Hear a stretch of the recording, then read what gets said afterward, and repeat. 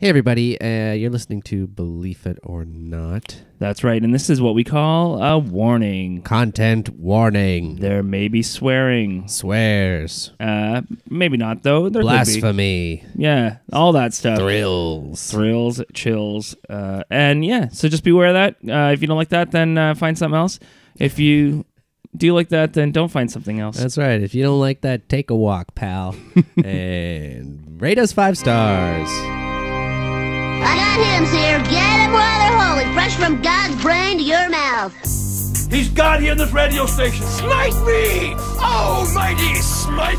The Bible is black and white. I have such doubts. Get out of here, devil! I'm a god, I'm not the god. I don't think. And you will know my name is the Lord! We're on a mission from God.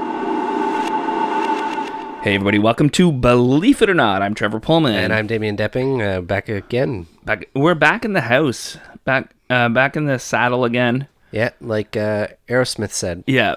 Yeah. Um, it's funny. We always say we're back because it's been a while for us, but you guys just heard us two weeks ago. It's been a while. That's true. How's everybody doing, listeners? Yeah, send Tweet us your us. emails. Yeah. Tweet, yeah, tweet. Hashtag I'm, I'm doing okay, or I'm Yeah. could be better. We should have Um, a PO box that people can send their letters to. Yeah, we'll get that set up. If you want us to set up a PO box, you can send us our letters. Email us. Uh, yeah, email in the description. All right. Um, what are you drinking there? Some uh, water. Some yeah, high quality teetotaling H2O. right now. Mm, when was the last time you had an alcohol drink? Uh, about an hour ago. Not not quite. Probably less than. I'm drinking a, a wine right now with Oh, sweet berries in it. Uh, It's got raspberries and it's got um cider. It's like a little um Like a sangria kind like a of thing. little sa- mini sangria that I make. Yeah, it's tasty, tasty treat. Um, It's fun to eat for you. yeah, yeah. I uh, took almost a month off drinking recently. Yeah, you did. Um, and now I'm back on the wagon.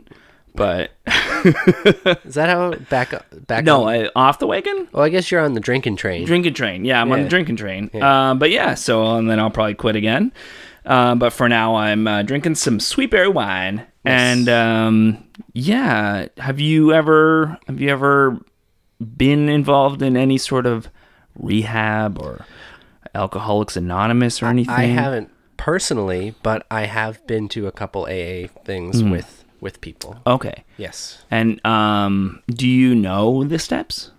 Uh, not offhand. I've heard a few of them. Um, I know. I know the one I remember is uh, is uh, admitting uh, that you are helpless. Yeah, and that you need to submit yeah. to a higher power. Yeah. which is crazy. Yeah. I think. Yeah, it's a it's an interesting thing. You see it in TV a lot. People talking about the twelve steps, and I think like for the most part, especially like Seinfeld did it, and I saw it on. Uh, I was just watching the show uh, Haunting of Hill House. Yep. and they had a lot about twelve steps because the one character was in in uh, NA.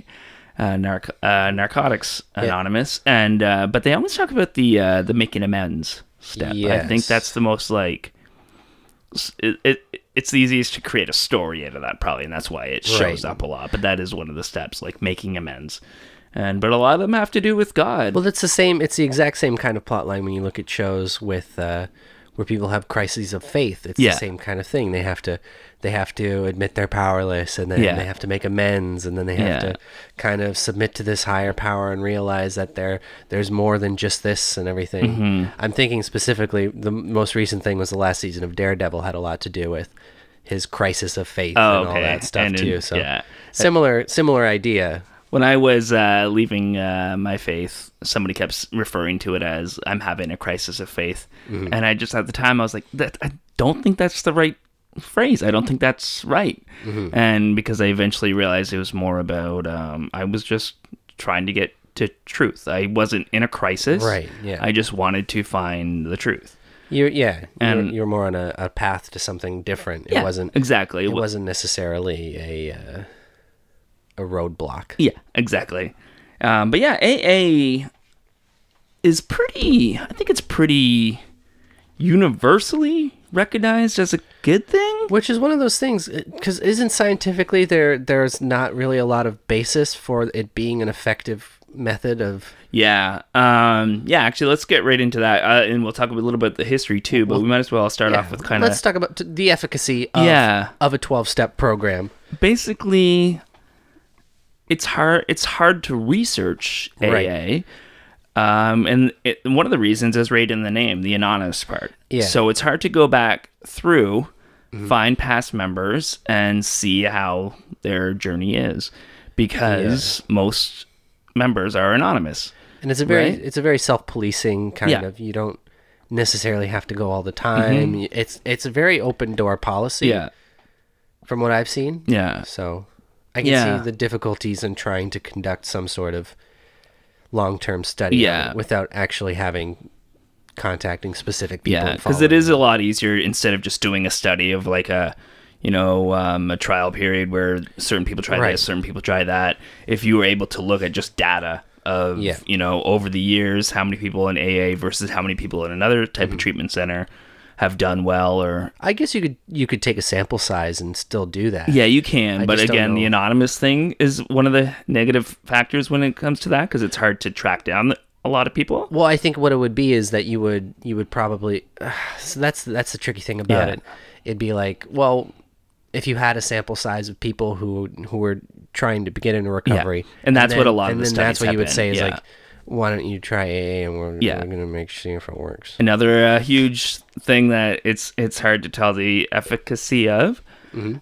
is there. It's really been the only one. It's for a long time. AA was Yeah. really one of the only treatments for alcoholism. Well, I know there there are definitely a lot more now. Yeah, and there, are in the there a last few- 20, 30 years. a few more secular ones. Yeah. which is the thing. I guess we should we should mention too that I think AA kind of purports itself as not being Christian, yeah, but it it in every way it seems Yeah. to be very Christian. Yeah, well, and okay, Maybe so- not every way, and that but- goes back to the structure, right? Right. Because uh, the founders, Bill W. and Mm-hmm. Dr. Bob, they wanted, they didn't want it to be an overall system where with like a head office and you know you have to report back to these people. Yeah. They wanted this material just to be available to to different people, and so it's every group's kind of autonomous, right? Yep. So then again, that goes back to it's hard to create studies because it's hard to track results. And it's also um, hard to kind of pin down the beliefs of different organization because one AA group's going to be run by a church, another exactly. AA group's going to be be run by a private uh, like rehab. uh, It's facility. probably also going to be very different uh, regionally, just based on how people kind of Yeah. perform those uh, those steps and how Yeah. how the the community structure of the program works. yeah, exactly. region, region. Yeah, but let's yeah let's let's dive in a little bit into the history. Yeah, let's get into it. Um, When when do we have like when AA started? Let's start there maybe. uh, yeah, uh, 1935. It was when in the 30s, it started. Yeah, and it started in the 30s, and it was like 1935 when they kind of trace back the opening date. Would would that have been like as a prohibition was uh, late 20? No, early 30s. It would have right? been during Prohibition, yeah, It would have been during prohibition Yeah. that this was. yeah. But um, from what I see, they don't. They've always tried to avoid being political, so they didn't. It was started by people who were alcoholics, and Yep. it was started by people who. Um, it wasn't about you know trying to make uh, alcohol illegal or trying to push for any of that. It was just about Right. the individuals, right? So there was this there was this uh, church-run organization called the Oxford Group, and it was basically the forerunner to AA. Uh, it had existed since the 20s, and this was basically it had steps and kind of ideas like AA, but not to the extent and not specifically focused on alcoholics. Right. And it was more about sin and fighting sin.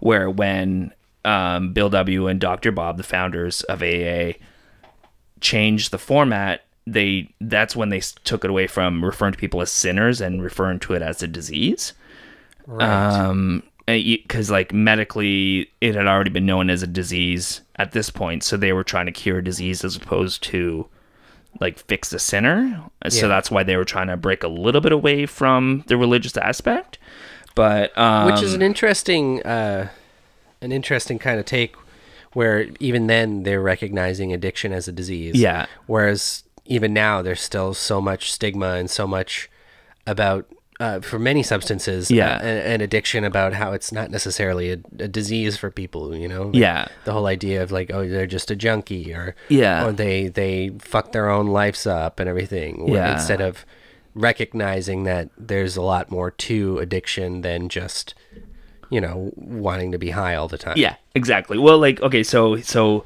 um Bill Wilson is is Bill W. His friend got him to go to this Oxford group. He was a little like um, concerned about it at first, but he said um, what changed him over was he had this moment of prayer and ecstasy where he prayed to God and and he said here oh yeah I'll do anything anything at all if there be a God let him show himself then he had a sensation of bright light feeling of ecstasy and a new serenity he never drank again for the remainder of his life so it, it, for him it was like this conversion kind of moment it wasn't about working with a group or whatever no, it was just kind of like a switch was turned yeah, but but then he so uh, their steps. Uh, I'll just go back to that for a sec. Their steps. They had the five C's and the four A's, or the four absolutes. So the five C's were confidence, confession, conviction, conversion, and continuance.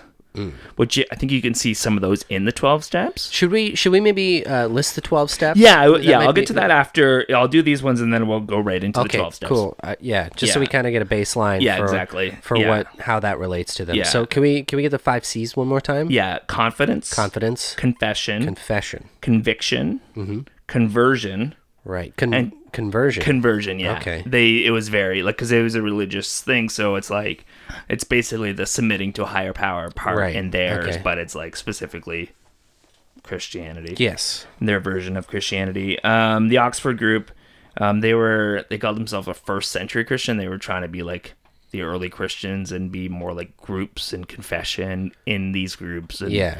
Uh, anyways, yeah, and then they had the five obs- uh, absolutes, which were absolute honesty, absolute purity, absolute unselfishness, and absolute love. So that was kind of yeah the the five things of how or the four absolutes of how to treat each other in this group and right within Christianity. they like their fives Yeah, they like their fives or their fives and fours. But yeah, so we'll go through the original 12 steps. Uh, some of them in different groups are going to have kind of different wording. Yeah A lot of them will say higher power instead of God, mm-hmm. but kind of pretty much the same thing. it's veiling it as something Yeah. being more vague than it actually is And firstly, especially the first step changes depending on whether it's AA, NA, Gambling Anonymous. Right. It's going to change what they're they're trying to like overcome, but yeah, for the most part, it's going to be these same twelve steps. So we admitted we were powerless over alcohol, that our lives had become unmanageable. Uh, number two, came to believe that a power greater than ourselves could restore us to sanity.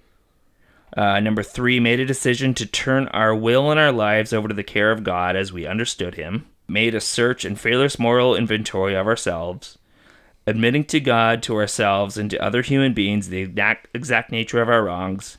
We're entirely ready to have God remove all these defects of character. Humbly ask Him to remove our shortcomings. Uh, made a list of all persons uh, we had harmed and become willing to make amends to them. Made direct amends to such people wherever possible, except uh, when to do so would uh, injure them or others. And continue to take, uh, sorry, that was number nine. Number 10 is continue to take personal inventory and when we were wrong, promptly admit it. Uh, number 11, sought through prayer and meditation to improve our conscious uh, contact with God as we understand Him, praying only for knowledge of His will uh, for us and for the power to carry that out. Number 12, having had a spiritual awakening as the result of these things, we tried to carry His message to alcoholics and to practice these principles in all our affairs. It's pretty God heavy. yeah Yeah. yeah that's quite god heavy Yeah. Um, yeah, one thing I was watching is a documentary, like clip from a documentary where it was like, can you imagine any other medical treatment that involves prayer? well i think Like, that's that's the that's I think that's one of the big problems with it is that it's not a it's not a medical Yeah. treatment. Yet I know for a lot of uh, court systems they they will Yeah. mandate people to go to AA, Exactly. which is Yeah. uh, which is kind of insane when you think about Yeah. it, because it, it's not it's not a medical. Yeah. Group. Oh, it's, not. Yeah. it's not accredited. It's not studied properly. It's Yeah. not. There's no Yeah. medical professionals involved. Exactly. And then another issue that happens. Uh, so court courts mandate court mandates people to go to these meetings if they're an atheist or agnostic or whatever, or even just like you know don't worship in the A traditional, ways. sense, yeah. Then they're alienated in these groups, and like a lot of times they'll be like, "Oh, you can make anything your higher power," but it's like, well, what if that's not Yeah. how you think or what you believe? Like, Do you think that would be a, a violation of like uh, freedom of expression or like a freedom of religion yeah, kind there, of thing? I think there has been court cases where it's really shown to be unconstitutional to to force someone to, to force to someone. Yeah. yeah. Um, Doug Stanhope, I was listening Yeah. to him talk about AA. He said his mom uh, was in AA as a kid, so he just was always around Mm-hmm. AA principles. But um, he was looking through. Uh, they have a big book. It's called the Big Book, Yep. according to Alcoholics Anonymous. It's like called Alcoholics Anonymous, but they all refer to it as the, The Big, Big Book. Book. Yeah, but there, he said there was a part about being agnostic and what to do if you're agnostic, and he's like, "Oh, okay, great. They're gonna have like a, you know, other um other options for you if you're, you know, if you don't believe in God, and other ways you can deal with your alcohol if Yeah. you're like a thinking adult." Is the way he worded it, and he's like, "Nope." Their solution was, "Don't be agnostic anymore." That's oh, yeah, basically, come to. God, give it up. Yep, there's a God. But yeah, a lot of a lot of different groups will be like, you know, there's, um, and you can make anything a higher power. You can make a rock a higher power. You can make this group your higher power, and I feel like that's such a that's such a a deflection of what it actually is. Yeah. It just seems to be like, well, you don't believe it anyway, so you know you can make anything this. When Yeah. when you know it's like that's not, but that's not what it is, Yeah, and that's not what you're saying it is. yeah, it's kind of like uh, it's like, oh yeah, you can uh, you can make anything a desk. yeah, It's like, but it's it's not. That's Yeah. the desk is the desk. yeah, exactly. Yeah, I I shouldn't have used like an actual thing to do it, but No. you know the the, I the think point, everyone I think the point Yeah, stands. Yeah, I think so. Another issue too with um, court mandated um, uh, Mm-hmm. AA is so say somebody goes to a random AA meeting, um, they don't know who in there, like what their record is or why they've Right. you know been sent to AA and what like as part of a plea deal or whatever. Mm-hmm. And there's been a lot of incidents of like sexual assault, and Really? things like that, as because of people meeting in AAs and taking advantage of people they've met in AA meetings, and then taking advantage of that power dynamic of the because you need you know you need your sponsor, Yeah. and it's somebody you have to meet with a certain amount of time, and you have call if you have a temptation and things like that. So that creates a power dynamic, and you don't know the past of this person that is forced to be in AA Yeah. and all of a sudden they're taking advantage and yeah it's uh it's become an epidemic and again then with the autonomous thing there's no central body to govern this kind of stuff so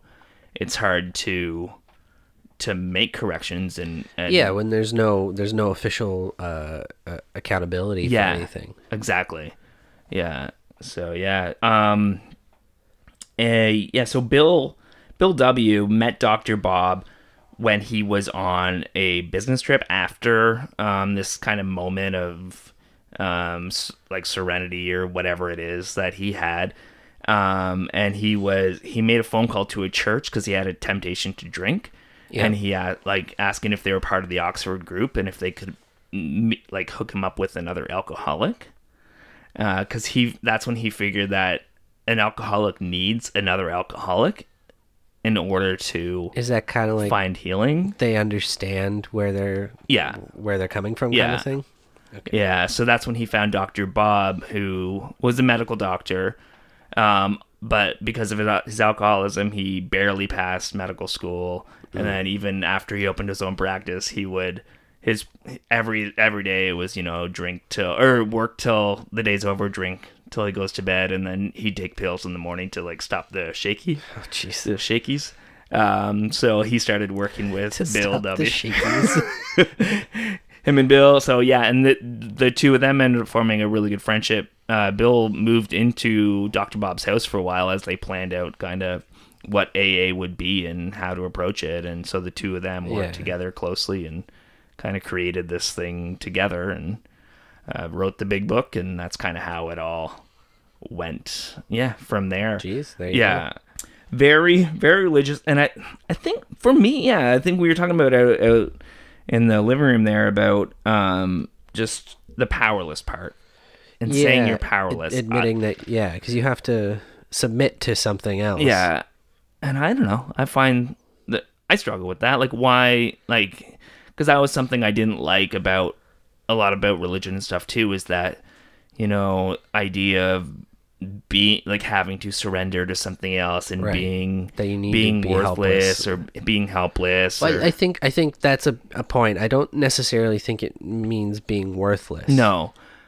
But I, I, don't. I think yeah. powerless and worthlessness are two two different things. I, Yeah. I think. Yeah, for sure. I think that's a distinction. Yeah, no, you're make. right. But it's that it's that having to like say you're weak and, and only being able to find a healing and saying like I guess there is weakness, but it's powerless. I don't know, just something feel- about that. I feel it probably comes from a sense of humility. Yeah.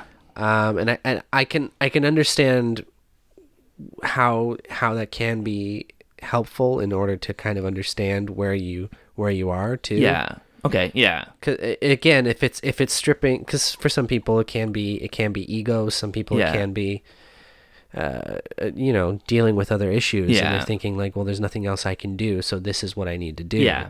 Yeah. So in a way, it's kind of like, well, no, you you need to realize that sometimes it's all of it's out of your control, Yeah. and that's okay. You just need to be like, it's out of my control. Yeah. So I, I think I think there are probably better ways to do it than to say you are powerless and you need to submit to uh, God or Yeah. But I, I under I can understand the the train of thought. I think Yeah. whether or not it's it's uh, it's something that works for everybody is another thing. I think that's another problem with like a twelve step program. It's I think everyone's needs are so different. Yeah. It's true. Yeah. And it should kind of be tailored more to the individual and more to the case. But this one, it's very like you need to follow these twelve steps in order for this to work. yeah. Do do And- they have like a any success rates at all? Like rough Yeah. It's of them? and it's hard to say because um I know we we said it was it's difficult to do a study on, but and so like basically there it there, it does show that there is higher rates of success for people who go to more meetings. Um, Right. The more you go to meetings, the more successful you're going to be.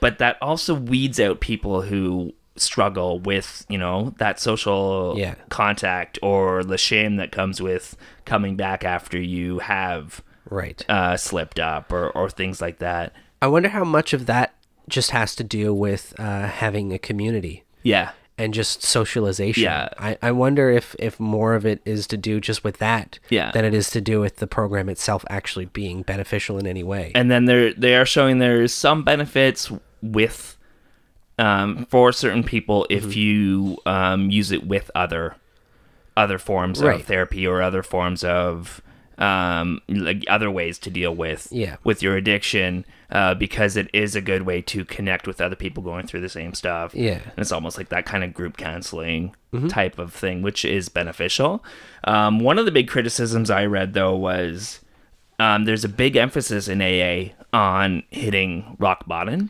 like saying you have to hit rock bottom. You have before- to hit rock Yeah, bottom? basically saying you you have to hit rock bottom before you can really um, make change. And I think, and a lot of doctors too say like that's ridiculous. That's like saying, um, you know, you can't give a diabetic person medicine until they've hit a, had a coma, or you can't that's, like that's that seems like a very start dangerous exercising stance to have. yeah. yeah. yeah.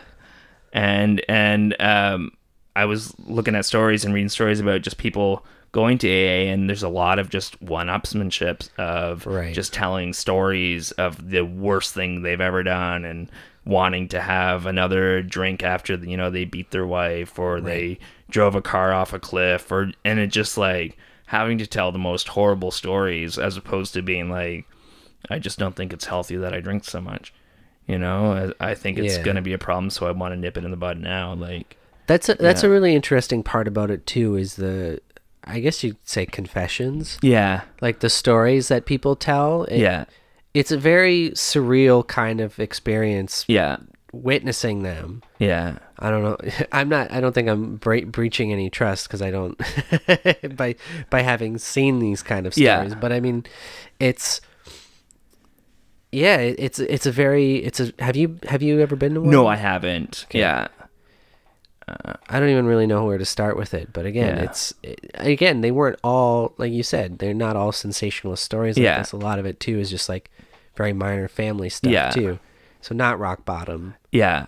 But to some people, that can feel like it. I, Yeah, I maybe, yeah. Or maybe they're searching for ways to make it seem that way too. Yeah.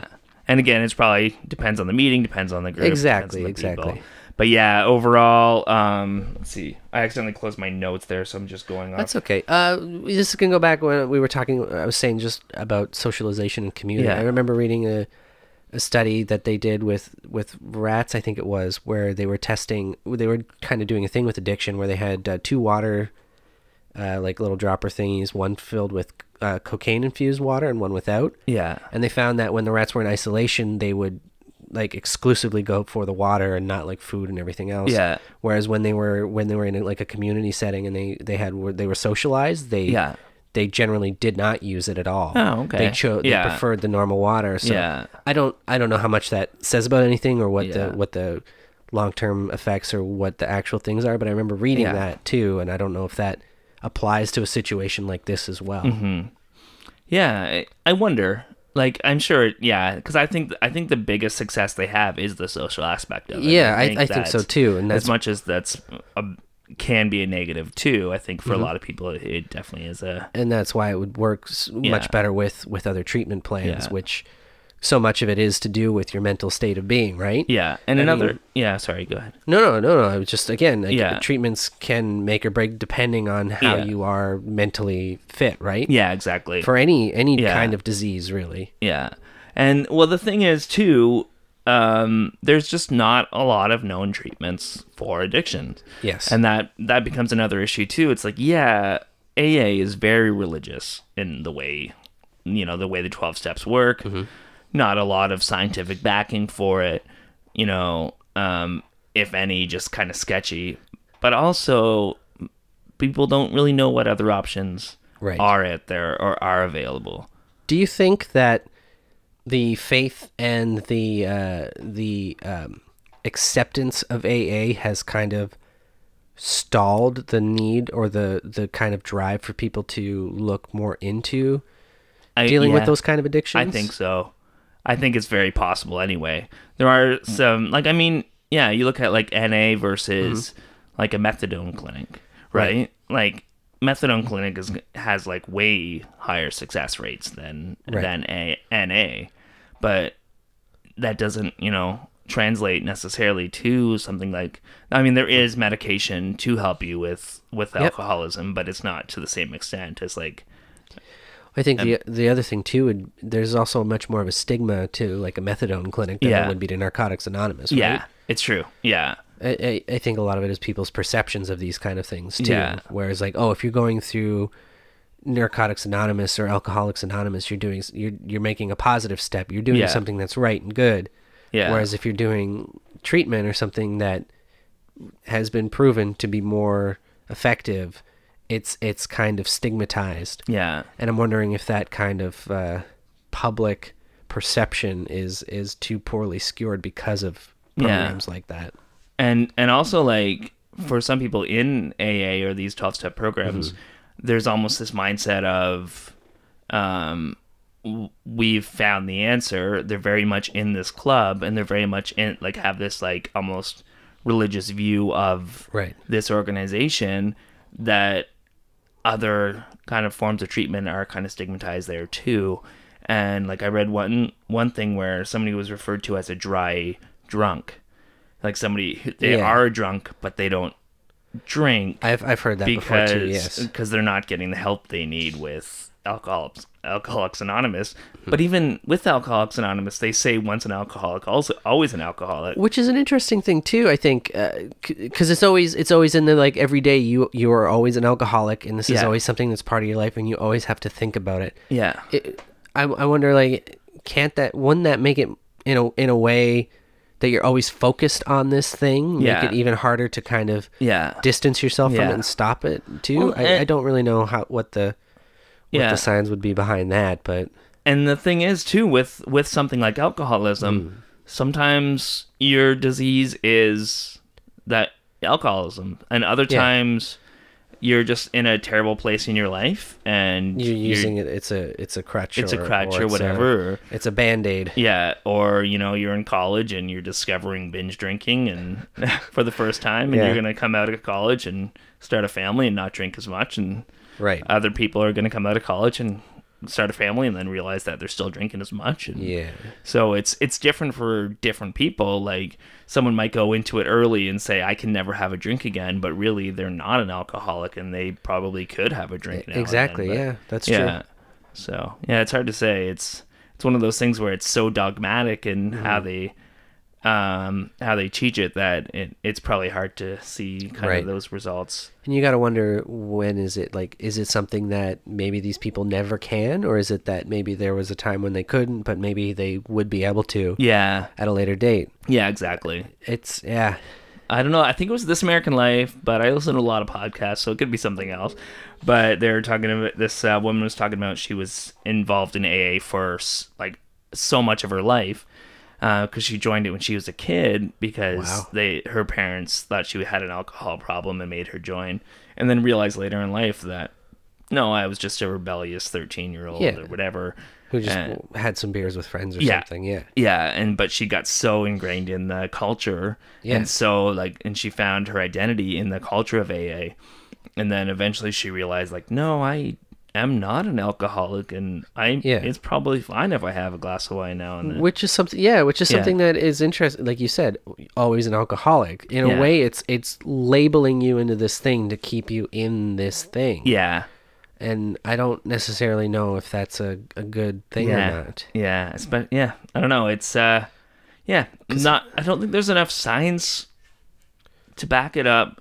Yeah. And I don't think there's um enough admission, I think, publicly that it is just a religious practice. Right. It's um it's That- it's almost a cult in a way. Yeah, in a lot of ways, with the yeah. com- with the community Yeah. aspects and Yeah. uh, the meetings and the you know, Yeah. dog bone. And yeah, they um they originally yeah, it was it was meant as a religious thing. Like it was Yeah. meant to the way to stop drinking is to surrender to God. I mean, that was like kind of the whole point of it. So it's it's interesting that it became such a staple and such a um, universally kind of recognized treatment method when that wouldn't happen. I don't think with like you you wouldn't go see a faith healer and on like on court order, you know. do you, do you think part of it has to do with uh, uh, media portrayals of uh, these kind of meetings too? yeah, I think so. I'm sure that probably Yeah. makes it paints a more favorable or, or at least like oh they're they're doing something Yeah. Because there's always there's Exactly, always a, yeah. a show or a movie where there's something like that there's like an AA Yeah. meeting or Well, and it is something too where, you know, if you if you've caused problems with your friends or your family or whatever because of alcohol, um going to an AA meeting and showing that you're continually going to meetings and stuff is a good like tangible way to show people that Yeah. Mm-hmm. you're trying to make a difference and you're trying to change which you know you can't really fault people for that as opposed to like you know i haven't had a drink in three weeks but um i can't prove that to you. You can yeah. yeah there's it's just there's something more about something about the accountability that Yeah. that, that offers. Yeah, exactly. So yeah. Any other thoughts or questions about aa I think we kind of got through most of Yeah, what we wanted so. to talk about with yeah. It. i think so. Should we hit up um a christian? Yeah, let's lighten the mood a little bit. Can't you see you're not making Christianity better? You're just making rock and roll worse. all right i've been wanting to do this guy for a while Oh yeah? uh okay so Why why have you wanted to do him for so long? it's michael w smith michael motherfucking w smith Should I know this name? He's the contemporary Christian artist that, above all contemporary Christian artists, he's the '90s and the '80s for for Christian moms, and Christian Christian like parent friendly. yeah, very parent parent friendly. This this song here, um, okay, if if your pastor moved away, and goes going to a different church. Yeah, because lady- of like uh, you know diddling children. And stuff? Maybe, I- but a lady in your church would come up and sing this song to bid them farewell.